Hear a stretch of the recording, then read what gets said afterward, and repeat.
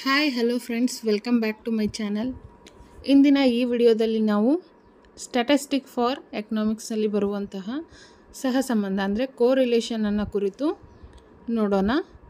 ಇಲ್ಲಿ ಸಹ ಸಂಬಂಧ ಸಹ ಸಂಬಂಧ ಅಂದರೆ ಎರಡು ಅಥವಾ ಹೆಚ್ಚಿನ ಚಲಕಗಳು ಯಾವ ದಿಕ್ಕಿನಲ್ಲಿ ಚಲಿಸುತ್ತವೆ ಎಂಬುದನ್ನು ಸೂಚಿಸುವುದಕ್ಕೆ ಇಲ್ಲಿ ಸಹ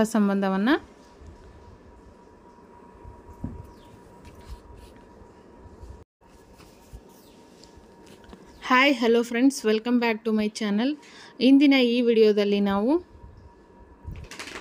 ಸ್ಟ್ಯಾಟಿಸ್ಟಿಕ್ ಫಾರ್ ಎಕನಾಮಿಕ್ಸ್ನಲ್ಲಿ ಬರುವಂತಹ ಸಹ ಸಂಬಂಧ ಅಂದರೆ ಕೋ ರಿಲೇಷನನ್ನು ಕುರಿತು ನೋಡೋಣ. ಅದಕ್ಕಿಂತ ಮುಂಚೆ ಯಾರೆಲ್ಲ ನಮ್ಮ ಚಾನಲ್ಗೆ ಸಬ್ಸ್ಕ್ರೈಬ್ ಆಗಿಲ್ವೋ ತಕ್ಷಣ ಸಬ್ಸ್ಕ್ರೈಬ್ ಆಗಿ ಹಾಗೆ ಪಕ್ಕದಲ್ಲಿರೋ ಬೆಲ್ ಬಟನನ್ನು ಪ್ರೆಸ್ ಮಾಡಿ. ಇದರಿಂದ ಮುಂದೆ ಬರುವಂತಹ ವಿಡಿಯೋಗಳ ನೋಟಿಫಿಕೇಷನ್ ನಿಮಗೆ ತಕ್ಷಣದಲ್ಲೇ ದೊರೆಯುತ್ತೆ.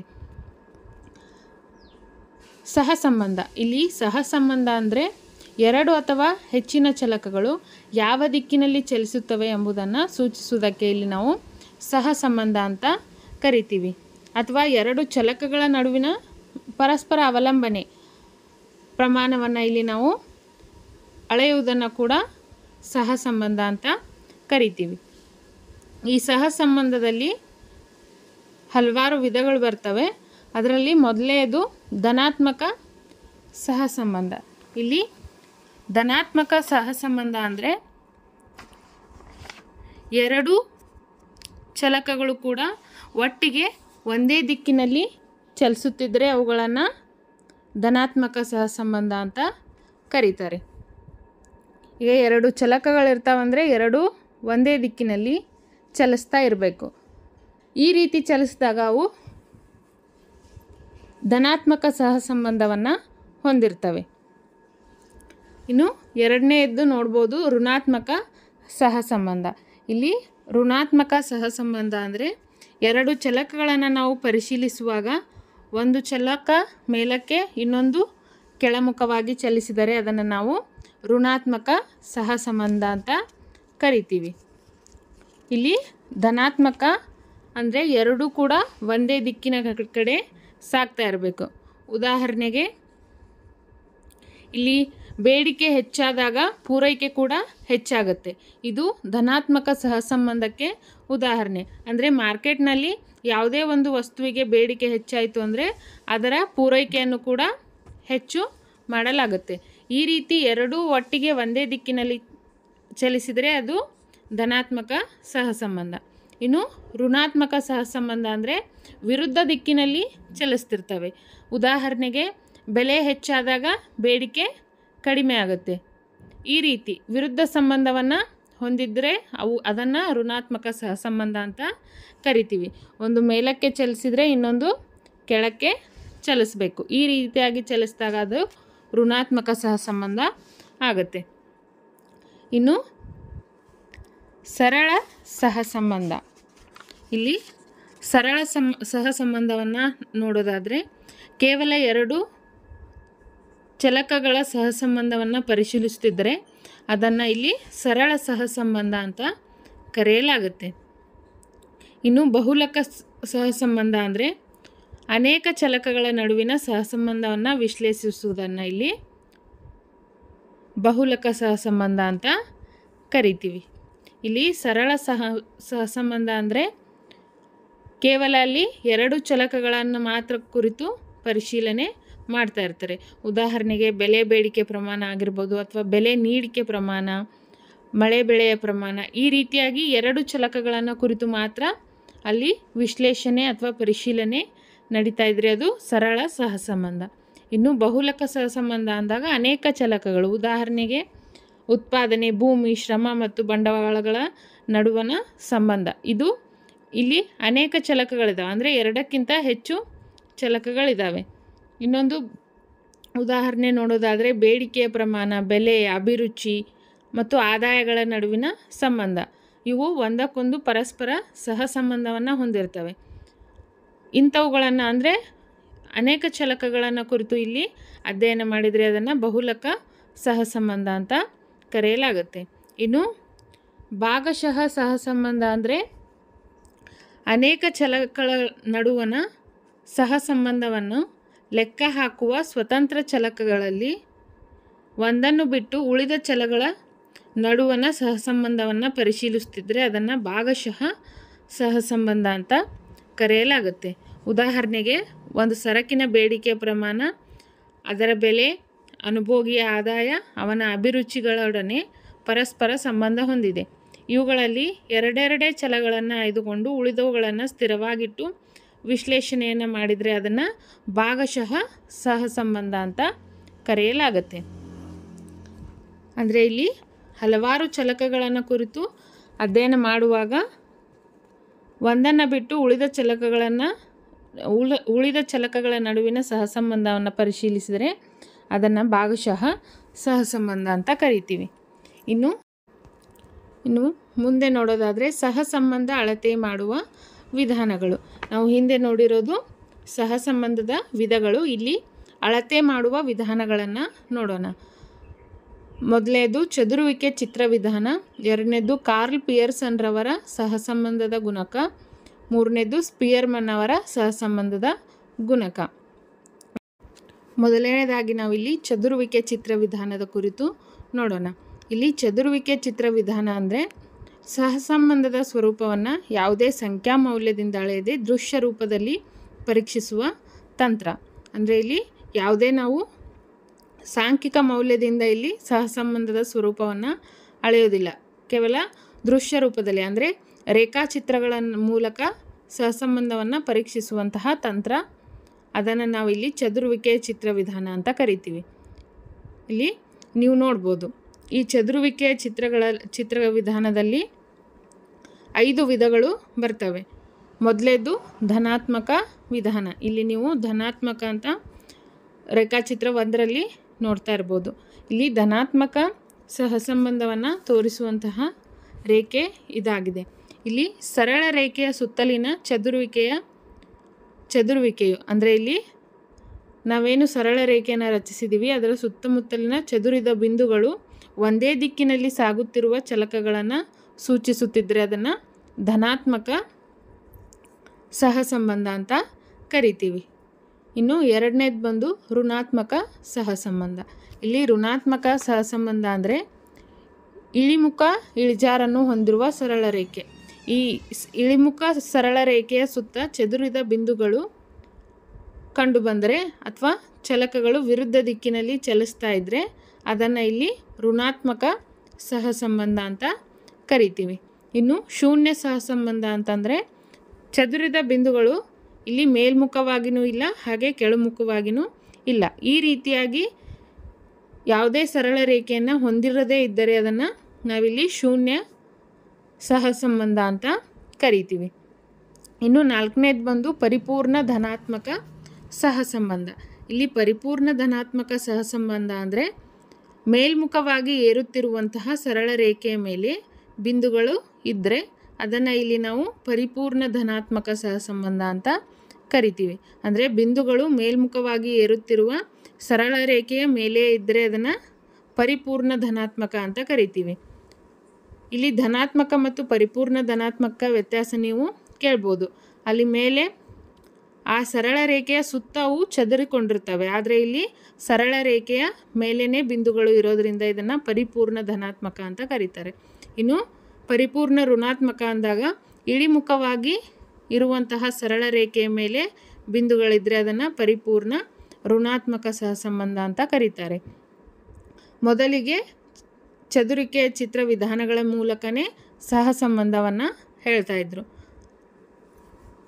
ಇವು ಚದುರಿಕೆಯ ಚಿತ್ರ ವಿಧಾನಗಳು ಇನ್ನು ಕಾರ್ಲ್ ಪಿಯರ್ಸನ್ ರವರ ಸಹಸಂಬಂಧದ ಗುಣಾಂಕವನ್ನು ನೋಡೋಣ.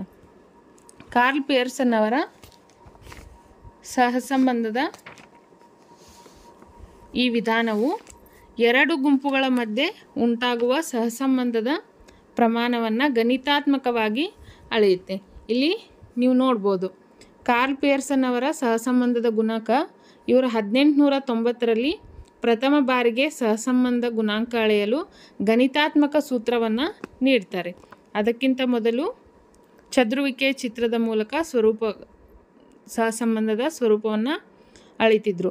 ಹದಿನೆಂಟುನೂರ ತೊಂಬತ್ತರಲ್ಲಿ ಪ್ರಥಮ ಬಾರಿಗೆ ಕಾರ್ಲ್ ಪಿಯರ್ಸನ್ರವರು ಗಣಿತಾತ್ಮಕವಾದ ಸೂತ್ರವನ್ನು ನೀಡ್ತಾರೆ. ಇದನ್ನು ಆರ್ ಸಂಕೇತದಿಂದ ಸೂಚಿಸ್ತಾರೆ. ಇಲ್ಲಿ ನೀವು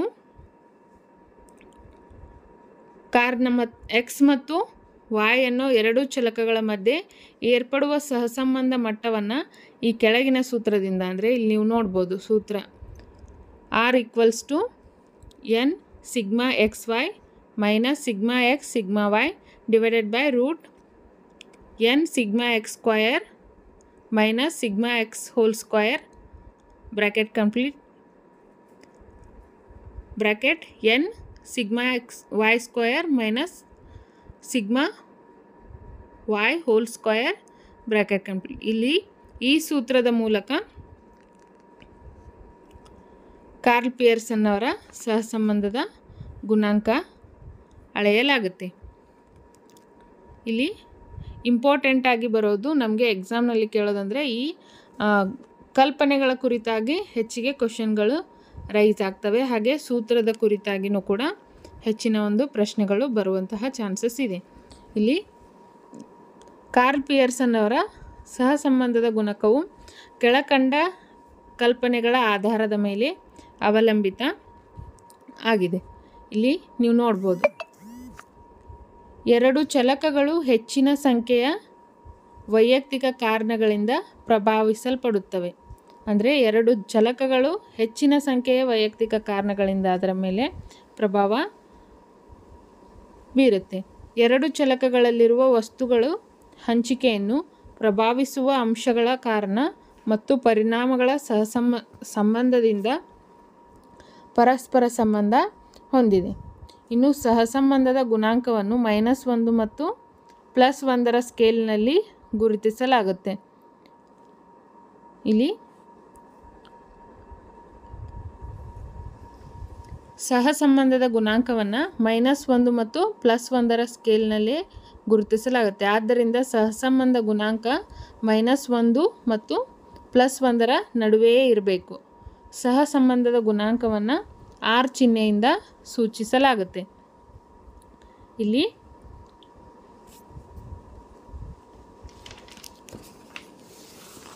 ಗುಣಾಂಕದ ಬೆಲೆ ಪ್ಲಸ್ ಒಂದು ಆದರೆ ಅದನ್ನು ಪರಿಪೂರ್ಣ ಧನಾತ್ಮಕ ಸಹಸಂಬಂಧ ಗುಣಾಂಕ ಎಂದು ಗುರುತಿಸಲಾಗುತ್ತೆ. ಆದ್ದರಿಂದ ಆರ್ ಇಕ್ವಲ್ಸ್ ಟು ಒನ್ ಆಗಿರುತ್ತೆ. ಅಂದರೆ ಇಲ್ಲಿ ಪರಿಪೂರ್ಣ ಗುಣಾತ್ಮಕ ಸಹಸಂಬಂಧ ಅಂತ ಆಗಬೇಕಾದ್ರೆ ನಮಗೆ ಆರ್ ಈಕ್ವಲ್ಸ್ ಟು ಒನ್ ಆಗಿರ್ಬೇಕಂದ್ರೆ ನಾವು ಲೆಕ್ಕವನ್ನು ಮಾಡಿದಾಗ ಆನ್ಸರ್ ನಮಗೆ ಒಂದು ಆಗಿರಬೇಕು. ಅದು ಪರಿಪೂರ್ಣ ಧನಾತ್ಮಕ ಸಹಸಂಬಂಧ. ಇನ್ನು ಗುಣಾಂಕದ ಬೆಲೆ ಮೈನಸ್ ಒಂದು ಆದರೆ ಅದನ್ನು ಪರಿಪೂರ್ಣ ಋಣಾತ್ಮಕ ಸಹಸಂಬಂಧ ಗುಣಾಂಕ ಅಂತ ಕರಿತೀವಿ.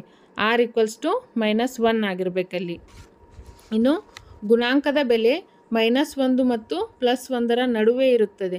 ಆದ್ದರಿಂದ R equals to minus one ಮತ್ತು ಮೈನಸ್ ಇಲ್ಲಿ ಲೆಸ್ ದೆನ್ ಮೈನಸ್ ಒನ್, ಹಾಗೆ ಗ್ರೇಟರ್ ದೆನ್ ಮೈನಸ್ ಒನ್ ಇದರ ಮಧ್ಯನೇ ಇರುತ್ತೆ. ಗುಣಾಂಕದ ಬೆಲೆ ಝೀರೋ ಆದರೆ ಅದನ್ನು ಸೊನ್ನೆ ಸಹಸಂಬಂಧ ಗುಣಾಂಕ ಎಂದು ಹೇಳಲಾಗುತ್ತದೆ. ಇಲ್ಲಿ ಪ್ಲಸ್ ಒಂದು ಆನ್ಸರ್ ಬಂದರೆ ಅದು ಪರಿಪೂರ್ಣ ಧನಾತ್ಮಕ ಸಹಸಂಬಂಧ, ಮೈನಸ್ ಒಂದು ಆನ್ಸರ್ ಬಂದರೆ ಅದು ಪರಿಪೂರ್ಣ ಋಣಾತ್ಮಕ ಸಹಸಂಬಂಧ ಮೈನಸ್ ಒಂದು ಮತ್ತು ಪ್ಲಸ್ ಒಂದರ ನಡುವೆ ಆನ್ಸರ್ ಬಂದಾಗ ಅದು ಮೈನಸ್ಸಲ್ಲಿದ್ದರೆ ಅದು ಋಣಾತ್ಮಕ ಸಹಸಂಬಂಧ ಆಗುತ್ತೆ. ಪ್ಲಸ್ಸಲ್ಲಿ ಇದ್ದರೆ ಅದು ಧನಾತ್ಮಕ ಸಹಸಂಬಂಧ ಆಗುತ್ತೆ. ಒಂದು ವೇಳೆ ಆನ್ಸರ್ ಝೀರೋ ಬಂದಾಗ ಅದು ಶೂನ್ಯ ಸಹಸಂಬಂಧವನ್ನು ವ್ಯಕ್ತಪಡಿಸುತ್ತೆ. ಈ ರೀತಿಯಾಗಿ ನಾವಿಲ್ಲಿ ಕಾರ್ಲ್ ಪಿಯರ್ಸನ್ ಪಿಯರ್ಸನ್ರವರ ಸಹಸಂಬಂಧದ ಗುಣಾಂಕದ ಕಲ್ಪನೆಗಳನ್ನು ನೋಡ್ಬೋದು. ನೆಕ್ಸ್ಟ್ ಒನ್ ಸ್ಪಿಯರ್ಮನ್ ಅವರ ಶ್ರೇಣಿ ಸಹಸಂಬಂಧ ಗುಣಕ. ಇಲ್ಲಿ ನೀವು ನೋಡ್ಬೋದು. ಕೇವ್ ಇವರು ಹತ್ತೊಂಬತ್ತು ನೂರ ನಾಲ್ಕರಲ್ಲಿ ದತ್ತಾಂಶಗಳನ್ನು ಪರಿಮಾಣಾತ್ಮಕವಾಗಿ ಮಾಪನ ಮಾಡಲು ಆಗದೇ ಇದ್ದಾಗ ಗುಣಾತ್ಮಕವಾಗಿ ಮಾಪನ ಮಾಡುವ ಸೂತ್ರವನ್ನು ನೀಡ್ತಾರೆ. ಅಂದರೆ ಕೇವಲ ಪರಿಮಾಣ ಸಂಬಂಧಿ ಚಲಕಗಳ ಮಧ್ಯೆ ಏರ್ಪಡುವ ಸಂಬಂಧವನ್ನು ಕಾರ್ಲ್ ಪಿಯರ್ಸನ್ ಅವರ ಸೂತ್ರದಿಂದ ಅಳಿಬೋದು. ಆದರೆ ಗುಣಾತ್ಮಕ ಸಹಸಂಬಂಧಿ ಲಕ್ಷಣಗಳ ಮಧ್ಯೆ ಉಂಟಾಗುವ ಸಹಸಂಬಂಧವನ್ನು ಅಳೆಯಲು ನಾವಿಲ್ಲಿ ಸ್ಪಿಯರ್ಮನ್ ಅವರ ಶ್ರೇಣಿ ಸಹಸಂಬಂಧವನ್ನು ಬಳಸಬೇಕಾಗುತ್ತೆ. ಅಂದರೆ ಅವರ ಅದನ್ನು ನಾವು ಅನ್ವಯಿಸ್ಕೊಳ್ಬೇಕಾಗತ್ತೆ. ಎರಡು, ಗುಣಾತ್ಮಕ ಚಲಕಗಳ ಮಧ್ಯೆ ಏರ್ಪಡುವ ಪರಸ್ಪರ ಗುಣಾತ್ಮಕ ಸಹಸಂಬಂಧ ಮಟ್ಟವನ್ನು ಅಳೆಯುವುದಕ್ಕೆ ನಾವಿಲ್ಲಿ ಸ್ಪಿಯರ್ಮನ್ ಅವರ ಶ್ರೇಣಿ ಸಹಸಂಬಂಧ ಗುಣಾಂಕ ಅಂತ ಕರಿತೀವಿ. ಇಲ್ಲಿ ಸೂತ್ರವನ್ನು ನೋಡ್ಬೋದು. R K equals to one minus six sigma D square divided by N three minus N ಇಲ್ಲಿ ಆರ್ ಕೆ ಅಂದರೆ ಶ್ರೇಣಿ ಸಹಸಂಬಂಧ. ಡಿ ಅಂದಾಗ ಒಂದು ಚಲಕಕ್ಕೆ ನೀಡಿದ ಶ್ರೇಣಿಗಳ ಮತ್ತು ಇನ್ನೊಂದು ಚಲಕಕ್ಕೆ ನೀಡಿದ ಶ್ರೇಣಿಗಳ ನಡುವಿನ ವಿಚಲನೆಯನ್ನು ಅದು ಸೂಚಿಸುತ್ತೆ. ಎನ್ ಅಂದರೆ ಪ್ರಾಪ್ತಾಂಕಗಳ ಸಂಖ್ಯೆ. ಇಲ್ಲಿ ನಾವು ಸ್ಪಿಯರ್ಮನ್ ಅವರ ಶ್ರೇಣಿ ಸಹಸಂಬಂಧವನ್ನು ಗುಣಾವಲಂಬಿತ ಲಕ್ಷಣಗಳಾದ ಜಾನ ಶ್ರೇಷ್ಠ, ಕರ್ತವ್ಯನಿಷ್ಠ, ಸಮರ್ಥ, ಗುಣಮಟ್ಟದ್ದು ಅಥವಾ ದೋಷಯುಕ್ತ, ದೋಷಮುಕ್ತ ಈ ರೀತಿ ಗುಣಾತ್ಮಕ ಅಂಶಗಳನ್ನು ಅಳೆಯುವಾಗ ಬಳಸಿಕೊಳ್ಳಲಾಗುತ್ತೆ. ಇಲ್ಲಿ ಶ್ರೇಣಿ ಸಹ ಸಂಬಂಧದ ಗುಣಕವನ್ನು ಮೂರು ಸನ್ನಿವೇಶಗಳಲ್ಲಿ ಲೆಕ್ಕಾಚಾರ ಮಾಡಲಾಗುತ್ತೆ. ಮೊದಲೇದು ಬಂದು ಶ್ರೇಣಿಗಳನ್ನು ನೀಡಿದಾಗ ಹಾಗೆ ಶ್ರೇಣಿಗಳನ್ನು ನೀಡದೇ ಇದ್ದಾಗ ಹಾಗೆ ಶ್ರೇಣಿಗಳು ಪುನರಾವರ್ತನೆ ಆದಾಗ ಈ ಮೂರು ಶ ಸನ್ನಿವೇಶಗಳಲ್ಲಿ ಶ್ರೇಣಿ ಸಹಸಂಬಂಧ ಗುಣಕವನ್ನು ಬಳಸಿಕೊಂಡು ಸಹಸಂಬಂಧವನ್ನು ಅಳೆಯಲಾಗುತ್ತೆ. ಇಲ್ಲಿ ಸೂತ್ರದ ಕುರಿತು ನಮಗೆ ಪ್ರಶ್ನೆಗಳು ಬರ್ತವೆ. ನಾನು ಈ ಎಲ್ಲ, ಅಂದರೆ ಈ ಒಂದು ಟಾಪಿಕ್ಕು ಏನು ಡಿಸ್ಕ್ರಿಪ್ಟಿವ್ ಸ್ಟ್ಯಾಟಿಸ್ಟಿಕ್ ಅಂತ ಇದೆ, ಅದರಲ್ಲಿ ಸೆಂಟ್ರಲ್ ಟೆಂಡ್ರೆನ್ ಟೆಂಡೆನ್ಸಿ ಕೋರಿಲೇಷನ್ ಮತ್ತು ಸೂಚ್ಯಾಂಕಗಳಂತೆ ಏನು ಬಂದಿದೆ, ಇದು ಕಂಪ್ಲೀಟಾಗಿ ಮುಗಿದ ಮೇಲೆ ಇದರಲ್ಲಿ ಕೆಸೆಟ್ನಲ್ಲಿ ಕೇಳಿದಂತಹ, ಇದಕ್ಕೆ ಸಂಬಂಧಿಸಿದಂತಹ ಪ್ರಶ್ನೆಗಳ ಕುರಿತಾಗಿ ಚರ್ಚೆ ಮಾಡ್ತೀನಿ. ತಪ್ಪದೇ ಎಲ್ಲ ವಿಡಿಯೋಗಳನ್ನು ಹೀಗೆ ವೀಕ್ಷಿಸ್ತಾ ಇರಿ. ತಪ್ಪದೇ ನಮ್ಮ ಚಾನಲ್ಗೆ ಸಬ್ಸ್ಕ್ರೈಬ್ ಆಗಿ. Thank you for watching